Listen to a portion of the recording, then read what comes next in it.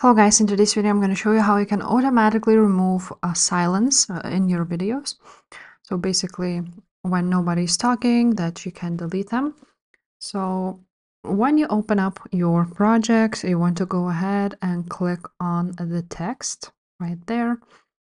And now you will see a lot of options here, but you want to choose auto captions. And from auto captions, you can go ahead and um, select the language or let it detect the language. I just chose English because the video is in English.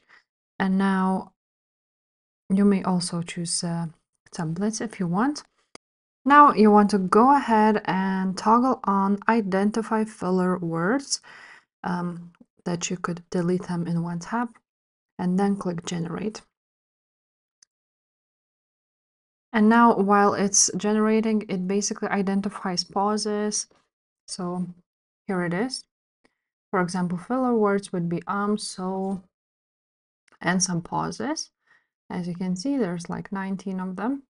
Now we want to go ahead, click, uh, choose the one you want to delete, or you can also delete a whole, uh, everything basically. And as you can see, you need to go ahead and join CapCut Pro if you want to use this feature. And yeah, if this video was helpful, please leave a like, subscribe to this channel, and I will see you next time. Bye.